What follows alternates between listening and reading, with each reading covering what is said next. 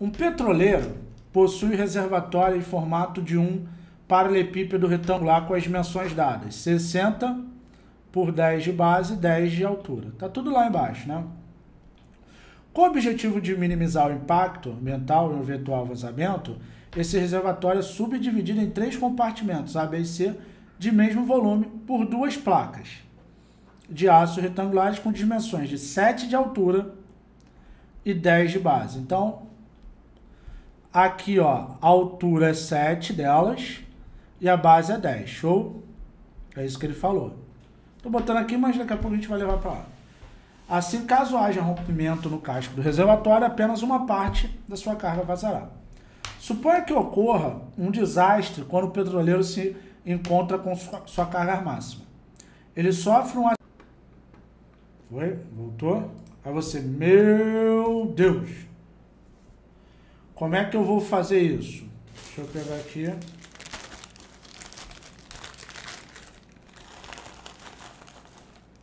Botão. Show.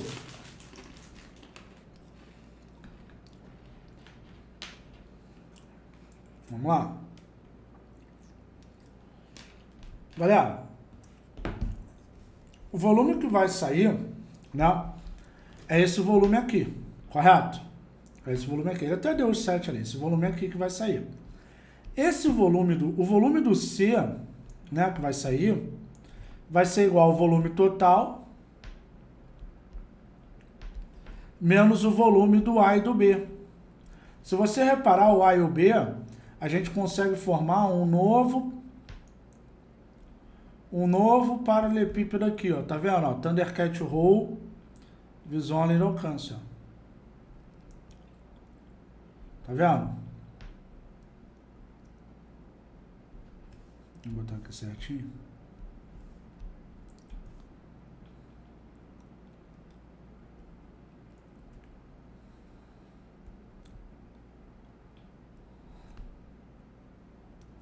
Parou? Esse paralelepípedo aqui de azul?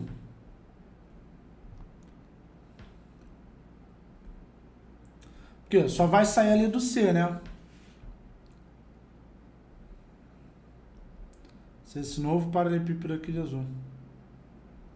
Tá?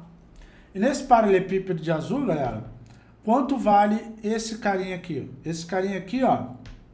Aqui, ó. Vale 10. Beleza? Ali vale 10, ok? Opa, travou.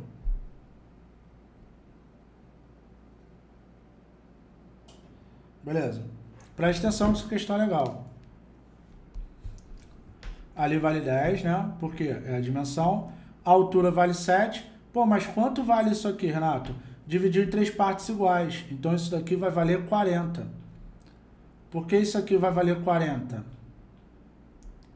Porque se eu dividir 60 em três partes, aqui é 20 e aqui é 20, beleza? Dividir em três partes.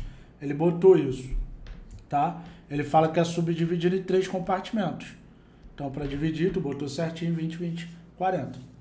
Então, vamos lá. O volume total, galera, vem comigo. Engole o choro.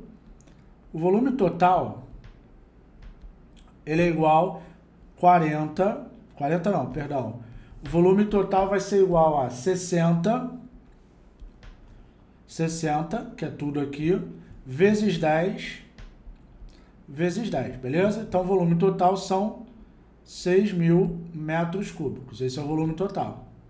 Agora, o volume do AB, né, que é o novo paralelepípedo, eu podia achar os dois e somar, mas pode fazer direto, vai ser 40 Opa, ficou horrível essa canetinha, tá de brincadeira com a minha face. O volume do AB vai ser 40 vezes aqui que vale 10, né? Vezes a altura que é 7, porque o volume do paralelepípedo é só multiplicar as três dimensões. Isso daí vai dar 2.800 metros cúbicos. Agora, o volume do C, que é o que vai sair, né? Vai ser 6.000 menos 2.800. Ou seja, o volume do C vai ser 3.200 metros cúbicos, beleza? 3.200 metros cúbicos. Tudo bem? Esse é o volume. Ah, mas não tem essa resposta, Renato. Porque a resposta ela está em notação científica. Cara, vamos lá. O volume são 3.200 metros cúbicos. Qual você marcaria? Letra D. Por quê? Porque é a letra D, né?